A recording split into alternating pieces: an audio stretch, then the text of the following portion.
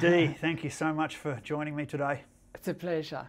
I It's have a pleasure, Nathan. been wanting to speak to you for a while.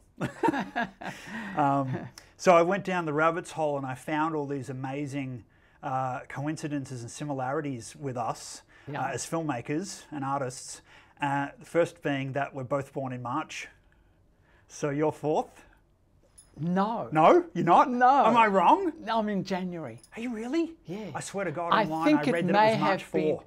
4. Yeah, it may have been reported incorrectly. It has. Unbelievable. Deliberately, probably, because you know your birthday is your ID. Yeah, yeah, yeah.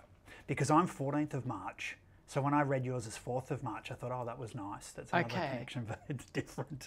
Like I say, bow, I've, bummed, I've bombed on that one. Um, um, actors we both worked with um, Chris Kirby in The Wheel, Yes. and I worked with him in Queen of the Damned. Right. Can you remember your experience with Chris? Was there much to it? Do you remember? Um. Okay, let me recall. With this is with the wheel. Yeah, yeah. So, what did Chris do? Oh my God! Now The you've tall, the me. tall African with the shaved head, big American guy. Chris He might have had was a bit part. no. Chris had. Uh, Chris had. It was a really strange movie because it was so um, isolated. Okay. You know, it, had, it was an experiment, and then Chris was fantastic in the as as part of the boardroom, and he was. Oh look, he he just absolutely nailed it. he is such a lovely good actor. actor. and um, quite you know they, they had to be sort of this friendly, sinister crowd. You know, this committee, the committee of sinister um, medical experimenters of the future. And so Chris was so well cast in that. He was just lovely in that. It's funny. Was it almost a compression kind of style when you said it was the, the movie? Was it was it more kind of one room claustrophobic, kind of like pie It or was. cube? It was. There were just three kind of um, sets in in the wheel. It's now called Soldier Protocol. I picked up on that yeah, too. Yeah. yeah. But there's the the actual um, sort of steel room Mm. where the guy gets experimented on, Mm-hmm. and then there's the the two scientists monitor in their sort of computer sort of monitor um, you know housing thing Yep. all in the wheel in this sort of underground facility Cool. and then of course the committee of which Chris was Chris was one of them he was he was great Yeah. Awesome. Awesome. so good Yeah, I remember being on stage with him, and the actors all had their direction, but he kind of. I wouldn't say over overrode rode the director, but he did a funny thing where he, he sort of turned to all of the actors and said, "Just be careful, because I'm gonna I'm gonna derobe my cape. I'm taking my cape off in this." You know, he just went Yeah, that yeah, little yeah. bit further, and it was great because it was memorable. I remember seeing the footage back and going because he stood out from the other guys because he made that decision. Yeah. I thought that was clever. Yeah. Now he, because you know, when when he's in a scene, you're you're just drawn to him. Mm. You know, you're mm. drawn to him. He's got that quality of, you know, when the when he's in a scene or when when you walk into a room, he's mm. he's kind of got this very very strong presence. Amazing. Mm. Well, I've got a few things, few points there, but I might I might get into the guts first because I've got a Okay, few things. There's a few things I want to ask you. Um, so, remember I was telling you about how I had Corey Haim attached to a film that Yes. unfortunately bombed. Yeah. Um, it was really sad. I, I, I'd felt in my career I'd reached that point where I was supposed to get my first properly funded film yes. government funding and all the rest, and had gone through the whole nine Yeah, yards yeah. with Screen Australia and all the two months on that bloody Yeah, A to Z budget report, you know the one. And uh, Corey was supposed to be flying out, you know, a week before he did, and then he died. I think it was a week. It was a it was only a week before difference, and uh, I was devastated. Uh, and I had grown up, I guess, as a teenager, watching his entire catalogue. Yeah. Watching watching him all the way through. Absolutely, from you know, Yeah. from Lucas all the way through. Yeah, and yeah. so when I discovered that you were local and I knew who you were Yeah. and that you directed Double O Kid, I became very excited. Yeah. Yeah. And I know we're going back in time, Yeah. but that's 1993, and I know I, I really feel like 1993 was a was a pivotal year in cinema because that's when Reservoir Dogs came out. Yeah. I actually technically shot my first film in 1993. Wow, You were okay. shooting Double O Kid in 93. What a Yeah. fantastic year. So, I mean, the cast is incredible. The the cast was amazing because the producer Stephen Paul was a child actor. Right. So he knew all the actors, and he was, uh, I think he still is Jon Voight's um, manager. Right. So he managed a lot of actors, and so he would just make phone calls, and they would go, "Yeah, sure, Stephen." Oh, I love you it. You know, I so there love it. was, and you know, sort of some of them weren't working as much as they would want to have worked at the time. You know, so there was Bridget Nielsen Yes. and Wallace Shawn, and you know, the, a whole a whole range of them. Mm, mm, mm. Yeah, I wanted to ask you about Bridget Nielsen as well, Mm. and because she would have, she, she'd popped. I mean, she'd done Red Sonja, she'd done Rocky Four. She Yeah, was huge at the time. Yeah, yeah. What was? How did you find working with her? Look, she was lovely. She was a lovely person, actually. And um, I don't know if she really wanted to To act? to act. I felt- you know, yeah, some of feel those, yeah, some of that. those, some actors just want to act, you know. Yep, Um, and other, and others are sort of, well, this is a job. I'm going to make some money. facet. Yeah, it's Yeah, another facet yeah, of their I feel that. their sort of celebrity life. Yeah, yeah, because Yeah. then we saw her on that reality TV show as well, following, and I felt exactly what you said. uh, You know, someone yeah. can model or act or Yeah, yeah, yeah. you know be a, celeb in that sense. Yeah, yeah, yeah. yeah. What a what a great observation. yeah. Um, but yeah, and also John Rhys Davies. yeah. I mean- John Rhys Davies. on. That's he's a legend. And they, they sort of like, they were very pro, you know, very sort of, okay, what are the lines? What are, we- they Let's knew they were on a B grade action movie, you know. Because he, so, he'd done Raiders of the Lost Ark, hadn't he? Yeah. Before then. And, and, you know, they sort of, you know, they're humble enough to come and do a, a low part and they give it their go and, Yep. and, um, Yeah. A- yeah, a and they're nice, you know, nice people, nice people. He And was a nice person. Karen Black. I know. I mean, five She was easy pieces. That's right. She was lovely too. She was lovely. Yeah, she seems really nice when you see her. Lovely person. Yeah. Yeah. Yeah, I liked her. Yeah. Um, and also Seth Green, a young Seth Green. young Seth Green, and that was really interesting Mm. having Seth Green because Corey Mm. didn't really want. He, he was worried about Seth as competition. as competition, and so he sort of sabotaged those scenes in a way. Wow. You know. Wow, And yeah. so he he was, the, you know, you, and I think Seth was aware of that as well, Amazing. and so um, it was it's interesting dynamics. Oh, geez, I would have loved him in a fly on the wall. I tell you what, interesting dynamics.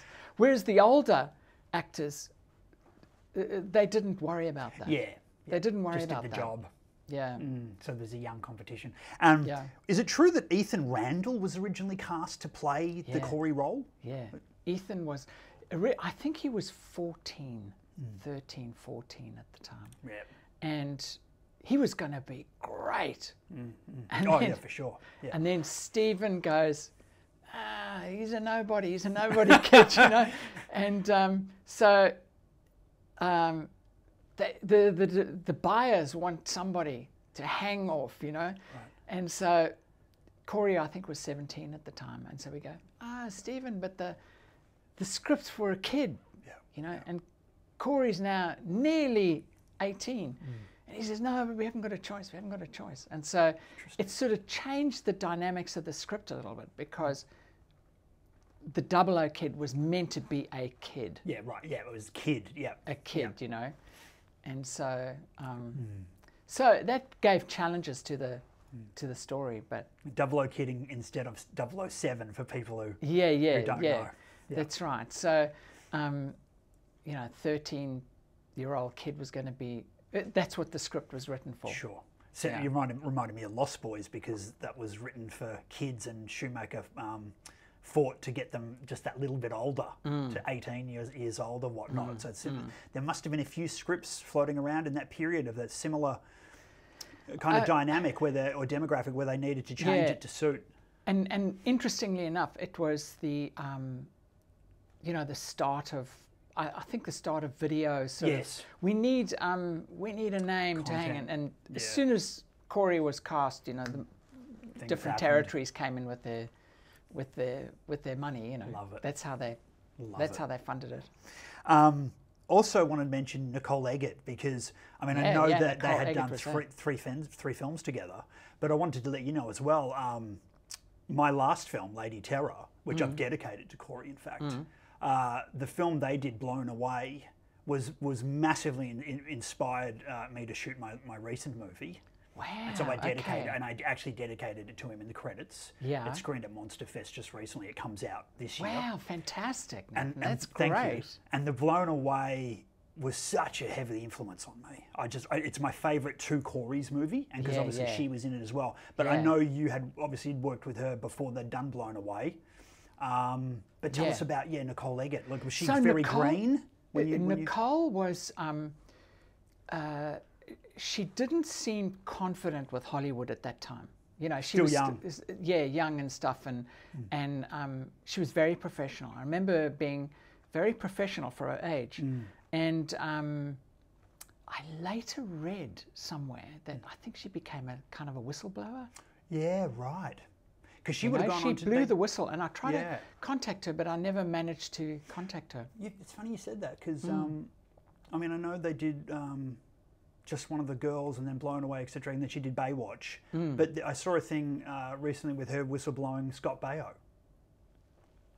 Right. Yeah, because of because because it's, of, it's so um, interesting yeah. with Corey, the experience Yeah. with Corey and and Corey Feldman, Exactly. and um, so at that time I think it was um, it was going down. it was going down. and- Gosh. yeah. Did you feel that when you worked with Corey that because I remember some producers in LA Hmm. t- started advising me not to work with him. That was saying one guy Hmm. was pretty horrible, but he said, you know, he's done every drug you can think of, and you can't, you won't be able to manage him. He's a bit off the rails. Well, I was very, I was very fortunate because uh, Andrea Buck had, was, um, was one of the principal writers on Double O Kid, and um, she was an associate producer, and she managed Corey, Right. and um, she's a real people person, and so I don't know how we would have managed Yep. without without her Right. because she just calmed him down. Mm. You know, he'd mm. he'd come on set totally hyper at mm. seven in the morning, you know, wanting painkillers, and we couldn't give it to him.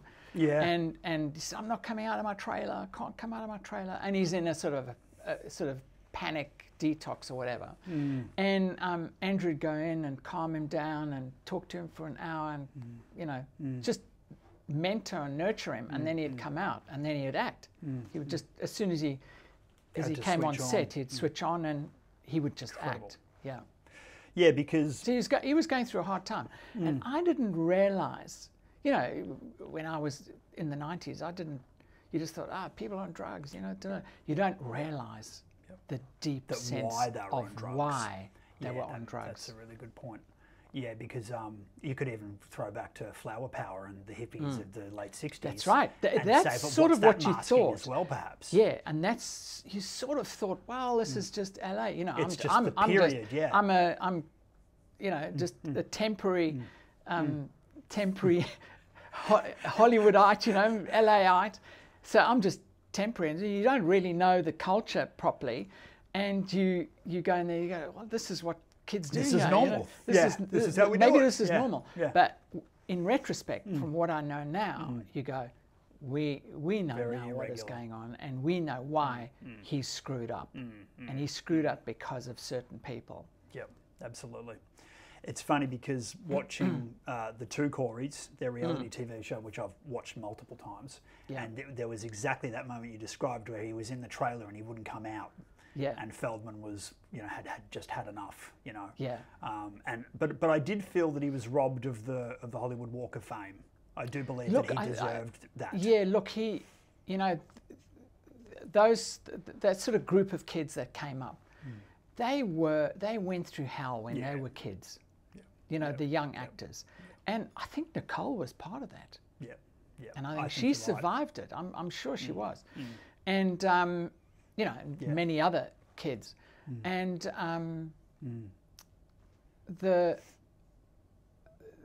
they were sort of brushed, you know, sort of oh, just problem kids and stuff. They were sort of not given their full credit. You know, you survived Hollywood, and that that kind of um, Right, the, the beast that it was. Yes, yeah. you survived the beast and you're still walking. And you know, Oh, God, yeah. you know, Yeah, I, yeah, I see Corey Feldman now, and he, is. You He's can see survived. He's, a, he's survived, but he's a damaged survivor. You know. That's true. That's true. He's getting a lot of flack for um, uh, the music he performs.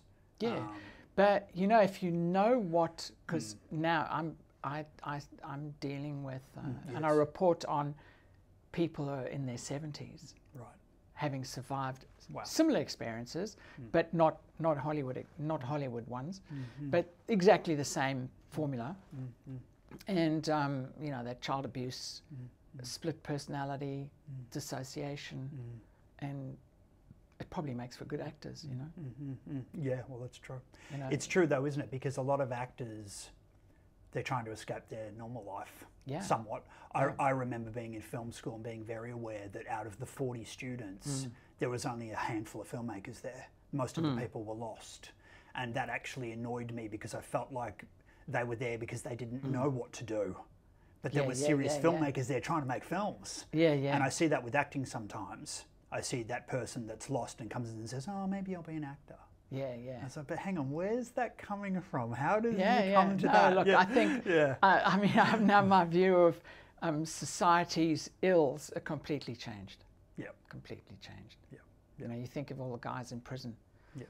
Why did they land up in prison? Eighty-five percent of them, or whatever, were abused as children. You know, whatever.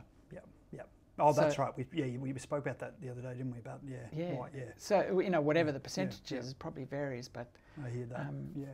but you know, Gosh, gosh. Whoa.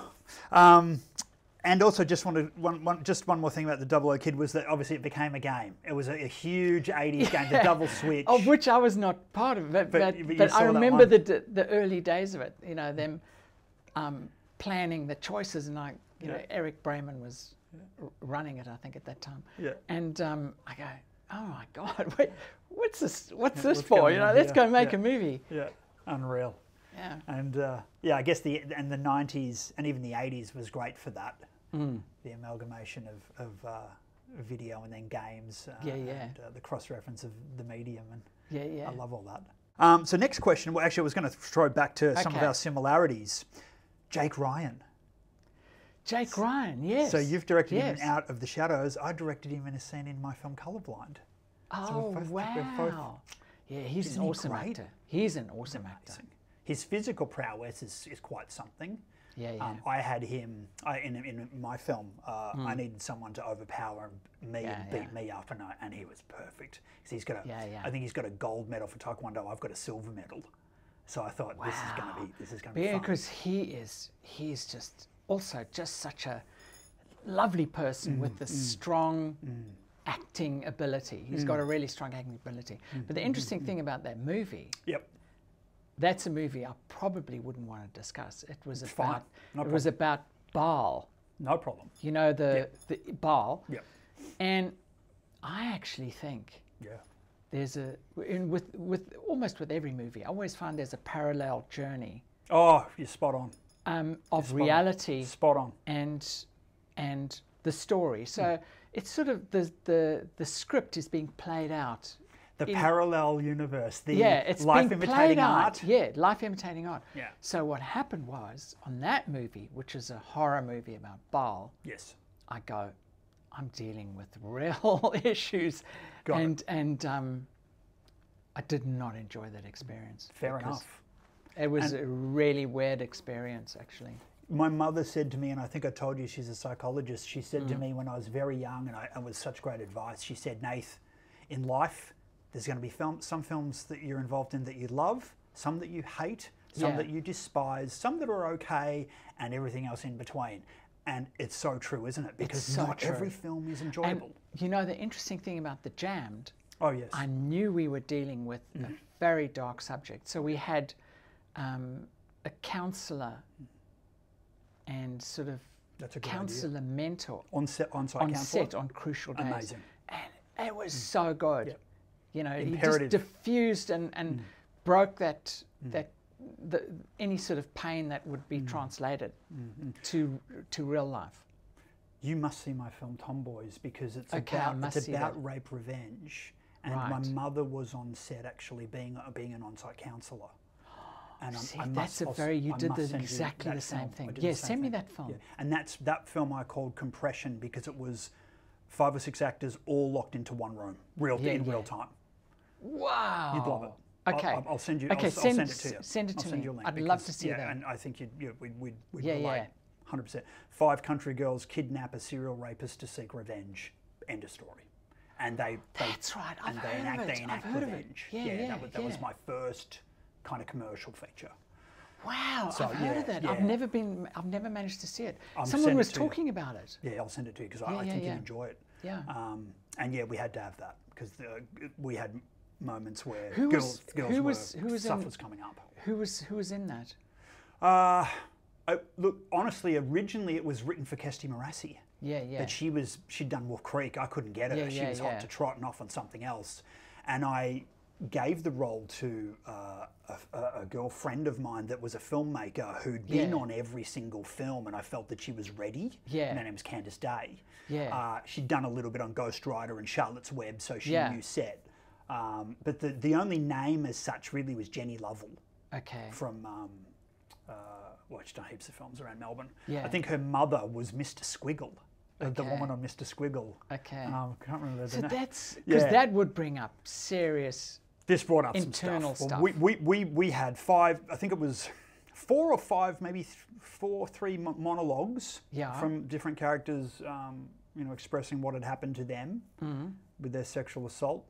But when the girls went to do it, other stuff came up that I wasn't prepared for. So that's where mum's counselling came in because I was on her property. Uh, yeah, very interesting experience. Very But the only the only compliment I that I really took to heart was that the girl at the end of it, the girl said, "I can't believe a guy, a man wrote that script," because I was That is very That's empathetic. amazing. That's amazing. That was my that was my compliment. Okay. But yeah, I'm sending it to you. Okay. you'll All right. it. Perfect. Um, another another coincidence was John Brumpton. Now you, I think he was Yeah. was he in Wentworth when you directed Wentworth? He he was in Wentworth.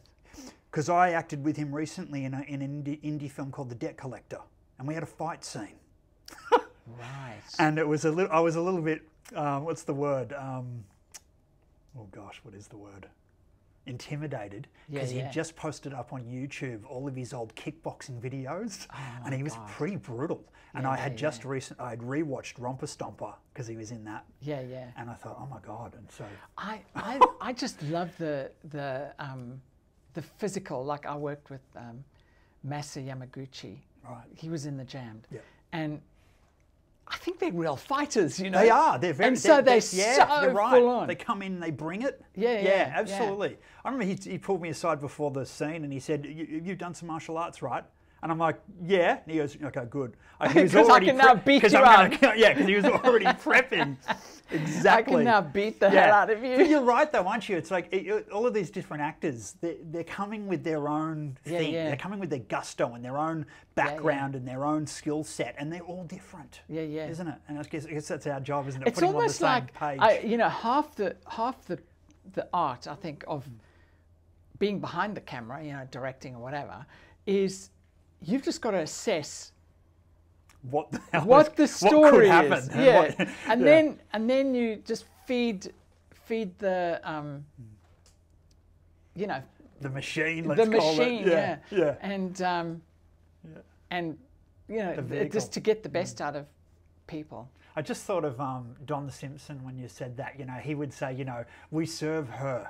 We serve the movie. Once the Yeah, yeah, movie's yeah. announced, we serve her because we it's a we- beast of its own. You know, That's right. It's so true, though, isn't it? It's so true. so it's true. it's like I remember after the first um, screening of the Jammed, I go, oh, "It's not my movie anymore. It's the Yeah. the public the owns it letting now. go. It's That's it's a, a, letting go step, thing, isn't it? Yeah. I, Yeah. I found that with a lot of um, a lot of let's say competitors on, on the way Mm. up that couldn't let go Yeah, yeah. and didn't go any further.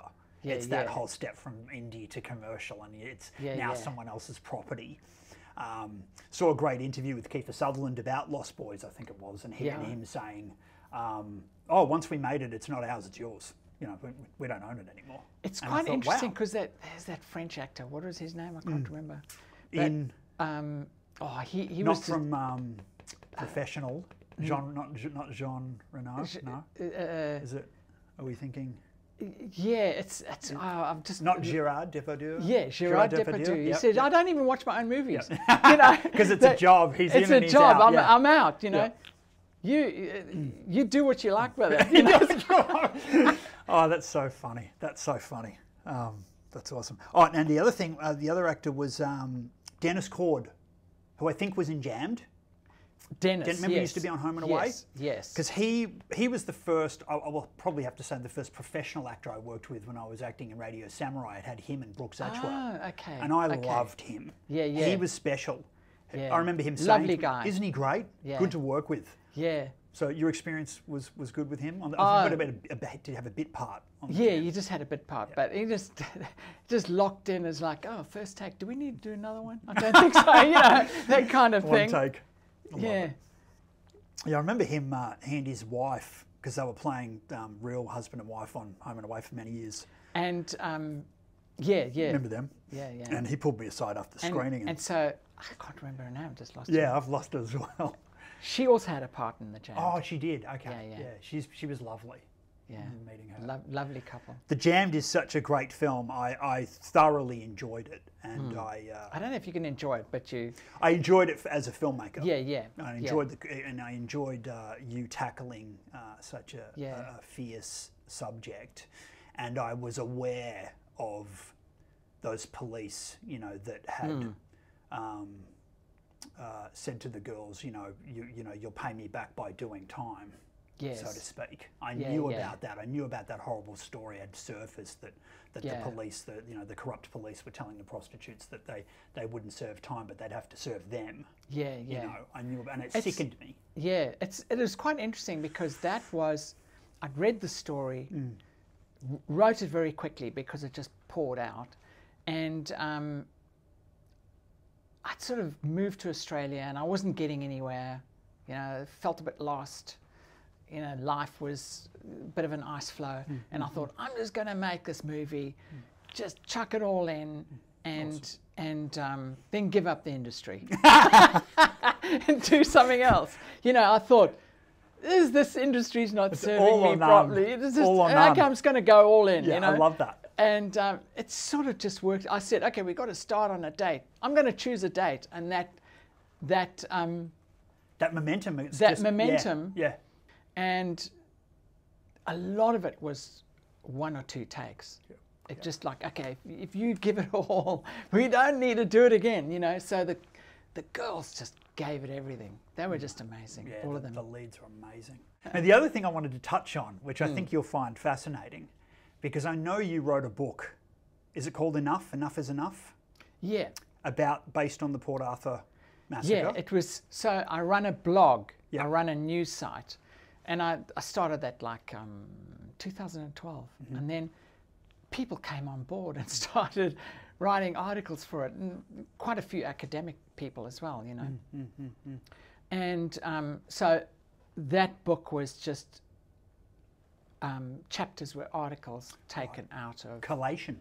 uh, collated from um, Mary Maxwell's art- articles and my, my articles. Interesting. Hmm. Because I think you'll you'll you'll laugh when I tell you that I've turned down the role to play Martin Bryant twice. Whoa! Are you serious? The First time I got offered it, it was a movie called Blonde Volvo, which was a company shooting Yeah. in Queensland. Yeah. And I remember specifically getting that email and thinking, oh my God, this is my big break because I'm blonde haired, I'm blue eyed, I can do this part, I'm intense. Yeah. And my mother was so Worried. upset because she'd Yeah. been counselling some of the survivors. So I declined. And I thought, shit. And then you got another offer. Then 10 years later, it comes back. And the filmmakers, it was called WASP, which stood for, I guess, um, oh God, what was his? Would have Now, been, Nathan, would have been, that would have is, been. That is fascinating. Yeah, WASP, because do you remember there was, a, there was that thing where just before he kind of opened Hmm. fire in the cafe, he said, awful lot of wasps around today to the waitress. And she said, what are you talking about? And so, I haven't heard that. yeah. I haven't. Yeah, uh, wasps. You know wasps must be? Well, it's, it's a um, spooky, isn't Uh, it? wasps, would that be referring to um, undercover? There's that. And then, and then they went another step further and they said it stands for White Anglo Saxon Protestant. There was all these conspiracies. But I will tell you, and I will, I'm kid you not, when I got the second offer, which mm. came 10 years later, I distinctly remember lying in bed and contemplating it. Mm. And I'm, I don't, I can't, I don't know, I don't even know what time of day it was. Yeah. But I suddenly felt and thought I saw the presence of a dark angel come into my doorway. And I, was wouldn't be so scared. I wouldn't be I'm, surprised. I mean, ho- hopefully I was dreaming it and I wasn't hallucinating, but I had this real feeling and this presence, and I was actually like scared to the core. And I said, I, I can't do this film. I think it was a good idea not to do. Do you know what I mean? It was a good idea not to. The Guardian because they haven't, yeah, they haven't got the the story right ever. They haven't. Um, and so you can't. it's just to get involved in Mm. The, in the the nuts and bolts. Uh, yeah, to get involved in the wrong telling of the story is, is is is a dark venture. I always felt like it should have been approached from him as a person, as a young child, and what happened, and what were the what were the the key instances that made him become who he was. But that, that you would end the film at the at the happening. Well, the interesting thing is that because of the news site, um, I did a little video on, on Port Arthur, and um, a retired barrister spoke to everyone Ah, the gunsmith, the, the um, what did Wendy Scurr. He spoke to everyone, and he pieced together the story. okay. And um, uh, it's it's very very strange. It's, It's a really really complex story. Yeah, absolutely. And I don't believe he was at the cafe. Lot of people don't. There's, there's, there's, you know, there's, there's just so I mean, much we conspiracy. we ha- we also were given um, a medical document that he Bryant was taken to Adelaide and oh, and analysed, given drugs by a psychiatrist there. It's a fascinating story. yep, yep. Um, fascinating story. But I, I think it was a good thing. Do you think it's a good thing that, I turned it down? Absolutely. Because I just, I just, I just, Absolutely. and I because thought you're propagating in it was, it was almost, a, for me, it would have been exploitation in yeah, the wrong and, way. and it's exploitation in a sense that, um, firstly, one should really only try to tell the true story. So if you're not if you're not telling the true story or you're just guessing Forget it. and, and making it for entertainment, I just I think it's. Oh, I'm with uh, you on that because yeah. it's that whole thing, isn't the difference between movies and film? Like a movie is popcorn and Coke at the cinema. It's- which it shouldn't be. It, it's a little bit like I would not watch the um, Pennsylvania crash. right. the the 9/11 plane Mm-hmm. that crashed in Pennsylvania, and I'd, I'd written quite extensively about that. Mm. And I just thought, why are you guys acting in that movie? The movie's fake, Yeah. Right the from the. Mm. you know, and um, the actual site. You know, if you look at Lockerbie, Mm. you see huge chunks of the plane, Mm. massive, you know, seats everywhere, wings, engines, all that. And the site of the Pennsylvania thing was quickly cordoned off, but there's some first photographs. There's nothing there. It's just a hole in the ground. And an FBI guy said there's nothing bigger than a telephone book. you know, and you go, no, that's that's not a plane. The plane, and, and then we learned later that the plane, mm. the planes were mm. were taken down at a mm. certain airport, and so you, uh, as a filmmaker and a uh, an actor, I just I worry about stories that are propagated for the wrong purpose. for the wrong purpose. And I think we'd both agree that uh, writing or directing or acting from personal experience Hmm. and giving a truth to that is going to outweigh Yeah. the exploitation. And and if you don't hmm. know what the If you don't the know, truth yeah, story, at least you telling, hmm. if you're telling a story from that personal thing hmm. point of view, Then that, that'll be real. that's Yeah, real. gotcha. And you're not you're not making a judgment of what what you can't judge on.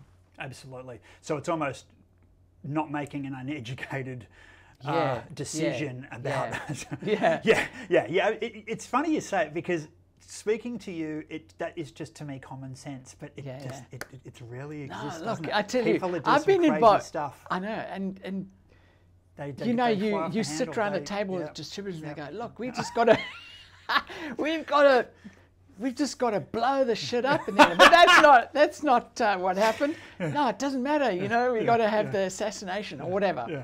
See, I do love my uh, my genre stuff if it's tongue in cheek.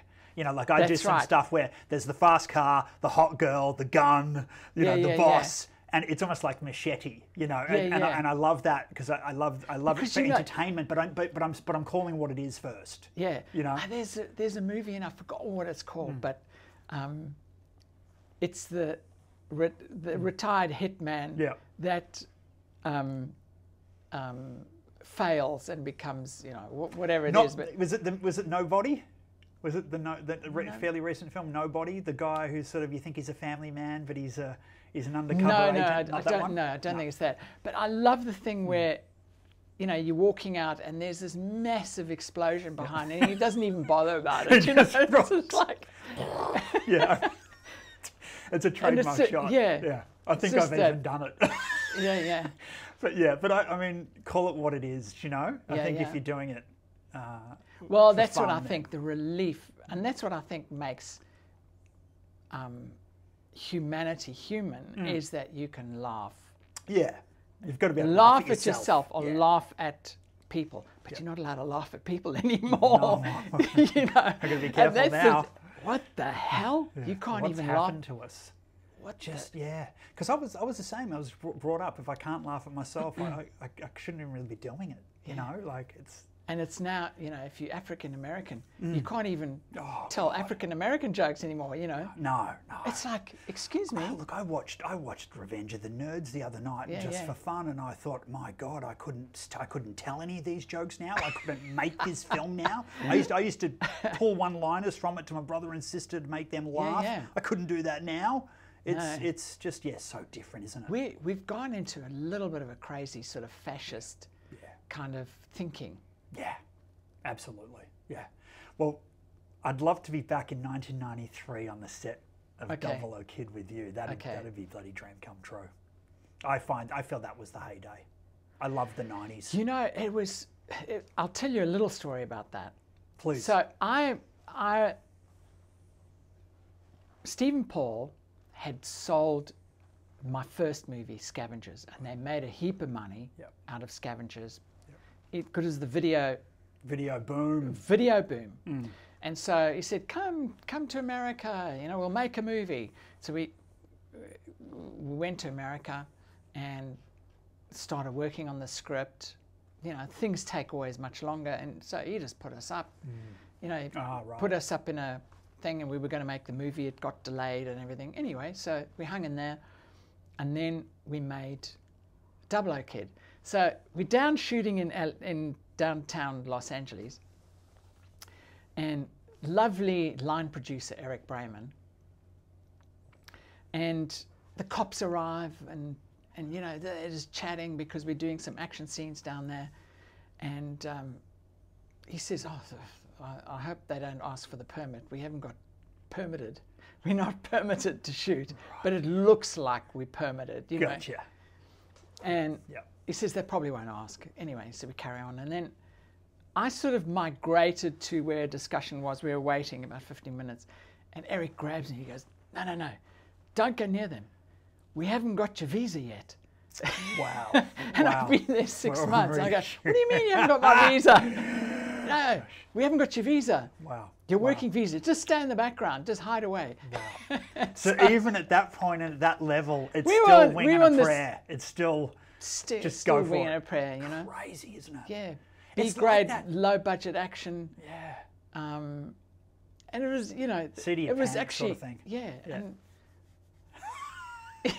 it's the days where you sort of had very little money, and Mm. But access though to but access and stuff, and then you go mm. and, um, but you mm. can go to the restaurant and get your mm. valet parking, your car parked valet. So suddenly you feel like a, uh, wow, Echelon. feel Yeah. amazing. Yeah. But you, where's the money for the meal? You Yeah. know, I actually remember a friend of mine saying that he'd, he'd got to LA one of his one of his first major trips and transitions and and uh, and he was at uh, at some restaurant uh, with some celebrities and he said to me I don't think I can afford the meal like he'd got Yeah, it yeah. finally arrived but he looked at the menu and just went, "How am I going to pay for this?" You know, it was Yeah, exactly yeah. what you described. So much fake it till you make it, isn't there? Yeah, I think even my friend Jane Badler was talking about that recent. Like she had a, a high point in her career, and you see the photo, and, and you'd think, "Oh, yeah, she's made it. She's New York. It's A list. It's millions. And apparently, she was like down to her last dollar. You know, at the time I think the, I think that's a, a there was a lot of that in LA. They, but they but to make it. if you're in LA, you know that the other people are similar, are similar, hustling. hustling. Hustling, Everyone, yeah. everyone's hustling. Everyone's hustling. I've got I've talked to a, um, another friend recently who's uh, you know been on television for years in LA, and uh, you can look at his whole career; it's quite Hmm. illustrious. And even recent, and he'd be he'd be fifties, and Hmm. he just recently said to me, he's still hustling.